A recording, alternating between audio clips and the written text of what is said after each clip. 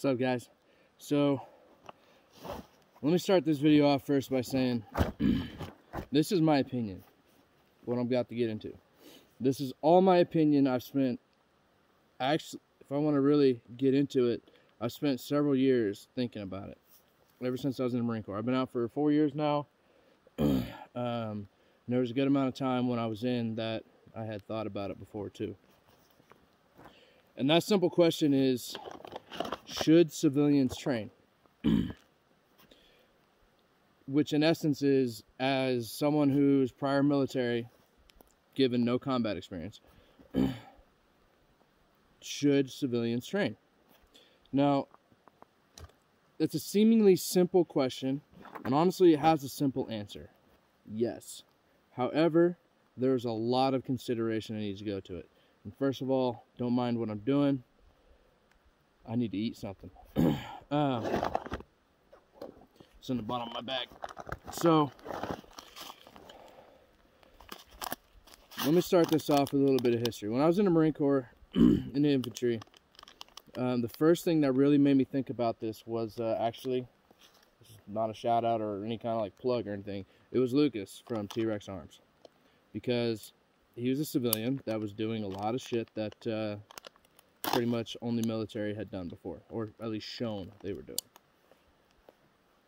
Now, as a Marine infantryman, I thought, okay, well, regardless of how good he looks doing it, like proficient, ooh, smells like cereal. Um, nutrient survival, become exceptional.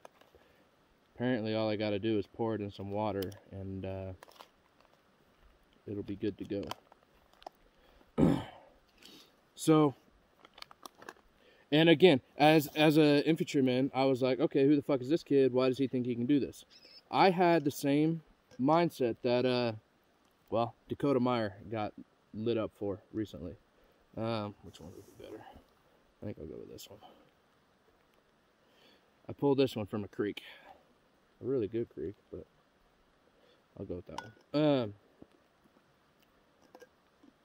but it just it made me think more about it, and I hadn't really um, elaborated on it in a long time. But I think there's a lot of things that are very important here as and let me put the Marine Corps infantryman's hat on, okay? From that perspective, I completely get where he's coming from. I really do. There and it comes from pride. And I don't mean it, it's because you have, you're proud of what you did. And Dakota Meyer, he fucking did some shit. All right, he did some shit that uh, hell, makes him incredibly well known throughout the military. I think uh, I heard about him when I was a young Marine from my Marines. I'm actually going to see if this will work just pouring it in here. Um, it's probably going to be better warm, but unless I want to pop a breach pen, I don't have anything to do that with. Um, so as a Marine and seeing what he and knowing what he did and everything, I got huge respect for the guy. So when I first saw that video, I was like, okay, well, it's Dakota Meyer. Like, he's already shown to have good thought processes. And I watched the whole thing, and honestly, it was sent to me. And then it really got me thinking. This rotted log under my butt is falling. Um, where does that mindset come from? Besides pride, it has a lot of ego. It has a lot of elitism in there. As in, in order to do this, you have to sign your name on a dotted line, which there's something to be said for that. There is something to be said for I will put myself in a position to take more risk in order to protect those I love and the country I love. In whatever aspect it is. There's absolutely something to be said for that. So with that, there is a level of respect to go with it. However, not just like not every branch of the military is created equal, not every job is created equal. Not every person in the job by their own merit or demerit is equal in capability and knowledge. A lot of the dudes from my platoon say the same thing about me. Um, I fucked up my knee like fuck two, three months into the fleet, and I dealt with problems with from my platoon and from my knee and, uh, and from myself the whole time because of it. I didn't achieve my goals. so there comes a point. It's like I know what I can and cannot say. I know what I can and cannot do, and I know where my expertise lies and where it doesn't. But as a Marine infantryman, as military in general, the first thing that you're really taught, the thing they try to drive home, is to be a leader. In order to be a leader, you need to teach and influence those around you to be better by setting an example. Now, one of the uh, things that the Marine Corps really teaches is creating better citizens. So when you get out of the Marine Corps, you can still see that, hey, that person was a Marine because of the example that they set in their everyday life. That's the hope, at least. It's kind of like oatmeal in here. Um, so I was thinking about that. Okay, that's a uh, leadership trait from the Marine Corps. Oh, fuck, it's cold out here. I'm getting cold now that I'm not moving.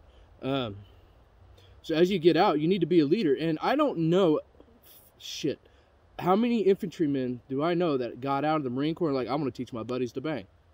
Yeah, I'm going to do that. But they're selective. Like, I'm not going to teach that random guy because fuck him, but I'm going to teach you because we're cool. Okay, and I understand that. I've been there. I had the same thought process.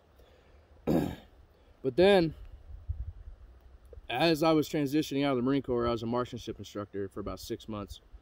And I taught a lot of Marines, and I had the opportunity to learn from um, not just other Marines and everything, but other uh, departments of the government that were trained on the range I was at.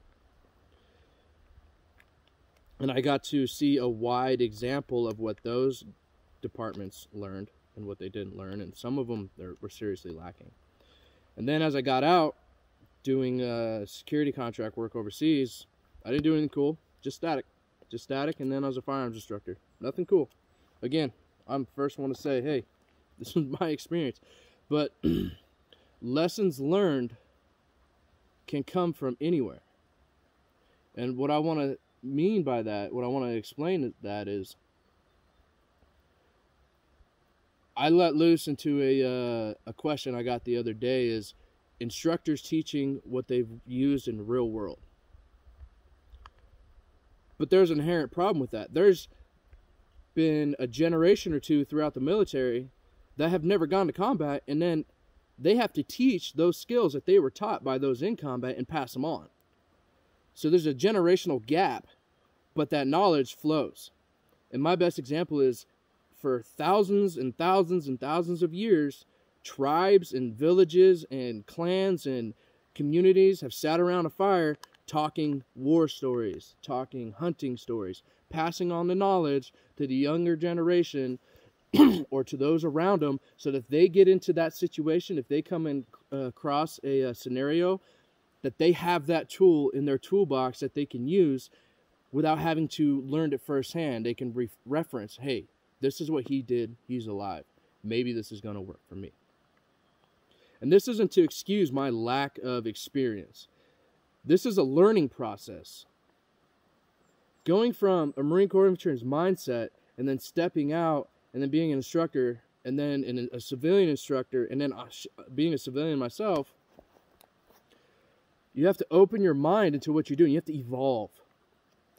So keeping that pride and saying, "Oh, you you didn't sign your name on the dotted line and you didn't kiss your family goodbye," like that is some emotional shit.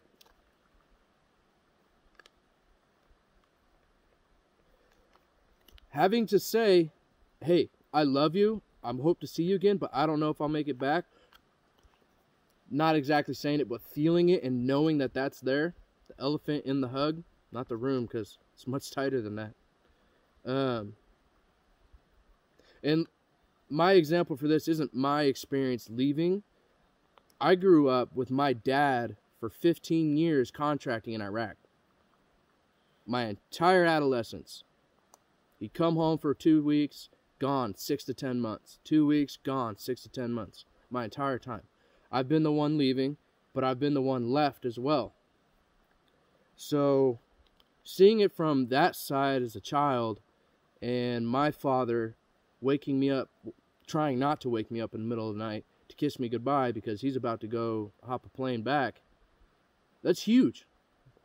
There's some real emotion there. There's some real depth of conscience there that has to be explored and discovered. However, what that is not is that is not an entry into that world. That does not mean I can sit there, I can sit here and say, you haven't felt it. You don't deserve to go out and train. You don't deserve to protect your family. You don't deserve to throw on something that can save your life. Throw on camouflage that can save your life because it helps you blend into your environment. You can't do that because you haven't kissed your family goodbye, not knowing if it was going to be for the last time. What is that? And to get on to another point, PTSD isn't just a military thing. PTSD, first responders, police, EMT, paramedics, firefighters, surgeons, doctors, holy shit, the PTSD there is real. Okay? Open your mind and realize that it's not just that avenue or that avenue or that avenue. It applies to everything. Go ahead and shoot me for this. The fundamentals of marksmanship all apply to each other. It's overlapping fields of fire. Everything overlaps. It's the same thing here. Your Marine Corps hat, your civilian hat, your dad hat, your husband hat, your son, daughter, your instructor hat, they're all worn at the same time, and you need to view those things in a full open scope. So to sit there and say, hey, you shouldn't do this because you never signed that and you're a poser, you're representing something that you're not about. That's complete horseshit. More cops, more first responders, again, are using life and death saving skills every single day than you'll ever know about. Right now, we're not in a in a time of high conflict. There are certain units throughout the military that are doing what needs to be done in places that don't need to be said. But if you want to sit here and gatekeep and say you can't do that, well, okay, how about this?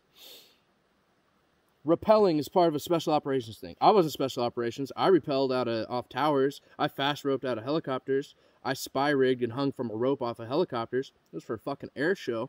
But hey, I still did it. Um, but I'm military, but now I'm a civilian. Does that mean I can't do that anymore?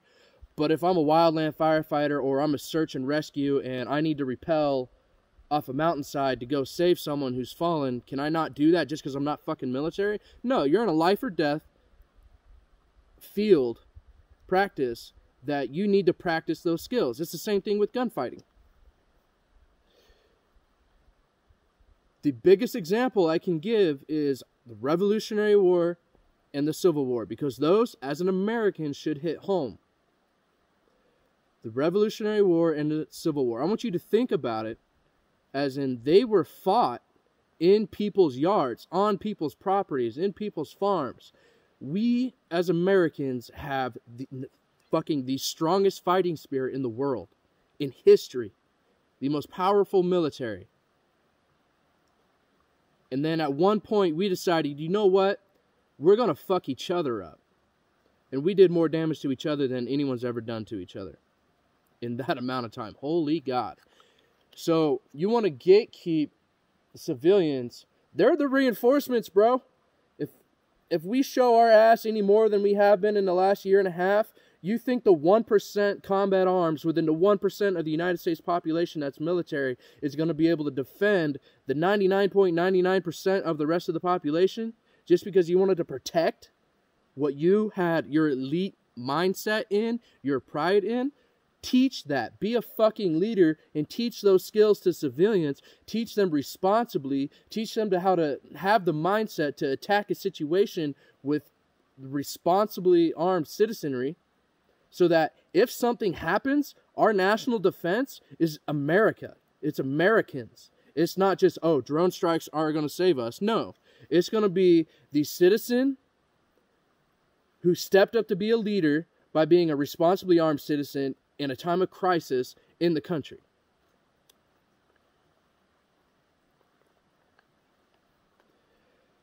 So now, as I'm a civilian and I'm instructing on the, I'm trying to do, you know, more full time stuff with it.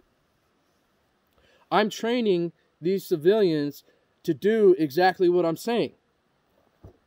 And I'm thinking about it, and every time I ask them, hey, what are you training for? Regardless of it's an individual or a class of uh, students. Oh, fuck, man, I cannot tell you a single person that's like, I don't want to do it for self defense. I don't want to learn to shoot for self-defense. And you know what? There's some dudes out there. They just they see it as a practical thing. As, hey, this is fun, this is my hobby. This is my competition. I like to plink, whatever.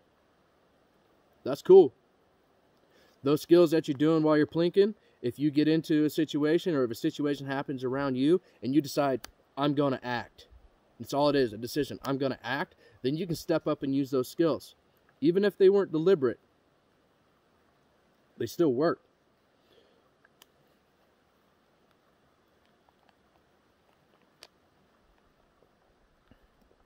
Now, thinking as much about this as I have,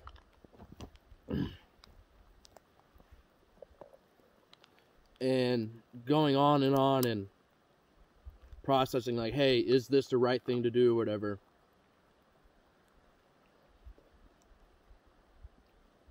There's more to consider about it. Now, stepping out of the Marine Corps infantryman's hat, which I kind of did already, but whatever. And more into just a civilian who's never served, if you want to think of it that way, is you need to understand that you didn't sign a line and say, hey, I'm going to be willing to put myself in a bigger position, in a more likely position, excuse me, to put my life on the line for those I love in my country. You didn't step into a team and say, hey, you depend on me for your life. I depend on you for my life. I fucking hate you or I fucking love you. I don't care. We're a part of a team, a squad, a tribe, a unit. We're going to depend on each other. You didn't do that. And the reason I'm saying this is because you got those fucks out there that act that do the stolen valor shit, and that pisses us all off. I got a real big personal problem with that from personal uh, history within my family that I just I'm not gonna get into. I'll get too pissed. It drives me nuts. When all this shit popped off with me, people had a lot of misconceptions on my background, and I fucking squashed it all every time it came my way because I did not want any misconceptions. Just a dude who happened to be in the right place to do the right, and I, because of mindset and training, I did the right thing, thankfully. And that guy on that video that I took the rifle from that went viral, he fucking shot and killed someone weeks after that. Shot a motherfucker in the back and killed him.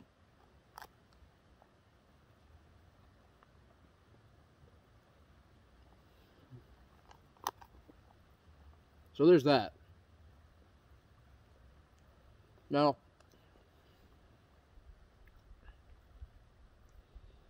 as a civilian, you need to understand that there is pride in what military does especially those who try to do it well and they take pride in the job, especially, honestly, Marines. Oh my God.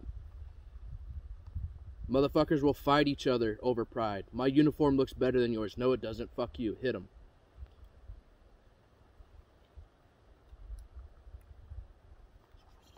So you need to make sure that you are in my opinion, again, let me re reference this. In my opinion, if asked, don't play it fucking off. Straight up say it and be proud. If you are a citizen and someone's like, hey, what's your background? You fucking be proud. Say, hey, I'm an American citizen, I'm a civilian, and I'm stepping up to train and get ready and prepare for whatever if I have to get in a fight. Or if I have to save someone's life with medical training. Be fucking proud of that. No, hide it. Make it your fucking headliner. I don't care. I'm a responsibly armed citizen. Travis Haley. Uh, what did he say? Um, just a civilian who loves to train or bang or shoot, whatever he said. Lucas Botkin. Like, you got dudes out there, and I'm getting really cold, so I can't really think that well. You got dudes out there that can fucking shoot like crazy, and they have a skill set of being able to understand how the body scientifically and philosophically, if you will, or even holistically, how the body and the mindset and the lifestyle goes in behind the gun. How the way of the gun drives the life. Be proud of it. There's nothing to be ashamed of. Your life took a different path. I didn't join the Marine Corps until I was 21. I was in the delayed entry program at 17. My life took another path for a few years until I could get it back on track. What I want you to understand is there are more pieces to this. I got rain on my camera. There, there are more pieces to this and more bits of understanding than just comes to the eye. And you need to take the time to look at it and understand. Because there's a lot of hard, hard, hard feelings. Check that. Erase that. Delete it. There's a lot of strong feelings on both sides. However, it is the American right via the Second Amendment which protects all others to have firearms and train with them. And I was listening to this has been stuck with me for days now. I was listening to Joe Rogan and Ben Shapiro, and I think it was Ben Shapiro that said this. The US Constitution wasn't written for the country that it is it is then. It is written and was written for the country that we are trying to be, that we are meant to be. We're still not there yet. That Constitution may have been written in the 1770s, but we in 2021 are still not yet the country we need to be. And that makes me think Matthew McConaughey, when he got up in his speech, he said, he got asked, Who's your hero? And he thought about it and he thought about it and he came back and he told the guy, My hero is me in 10 years. Oh my God, who am I going to be in 10 years? Who is this country going to be in 2021? We're fucking slacking. Who is this country going to be in 2031? What kind of shooter, what kind of instructor, what kind of husband, hopefully, what kind of father am I going to be in 2023? Right? We are not yet where we need to be as a country. Yes, I understand history. All great empires have about 250 years. We are still the greatest experiment there has ever been in history, and there is no reason why we can't beat any of those.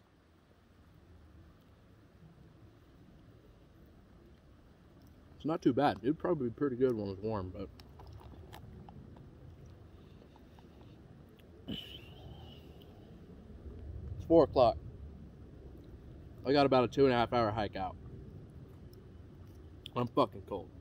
I'm at about 5,400 foot elevation. You guys can't see, but there's fucking snow and everything everywhere.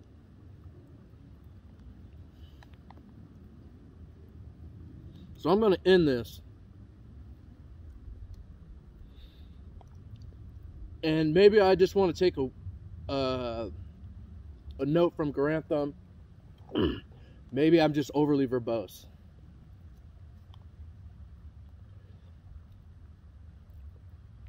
But having an open mind, having a mindset of what is their position and how are they viewing this,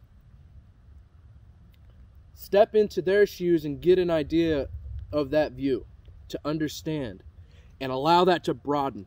So if I look at this person's view, I look at this person's view, I look at this person's view, what did I just get? I got that big a fucking view.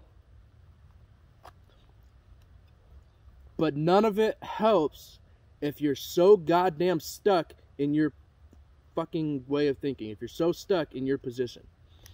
The whole phrase put down roots always bothered me.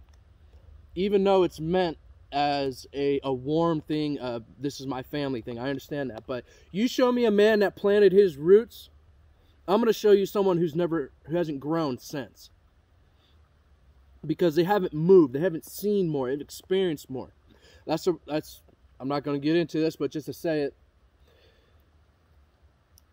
most Americans never leave their town, never leave their state. They never venture to the other side of it. They never leave this country. They never get a perspective on what outside America is like. And oh my God, even though a lot of people outside of America hate us, where do you think they all want to be? They want to be here. They want to be here, even though they want to take their stupid shit here too. Just like people fleeing uh, California or Seattle because the laws and everything are getting terrible. They're taking their fucked up mindset to another state and screwing it up. It's happening all the time here. People coming up to Washington. Now people in Washington are fleeing to Texas and Arizona.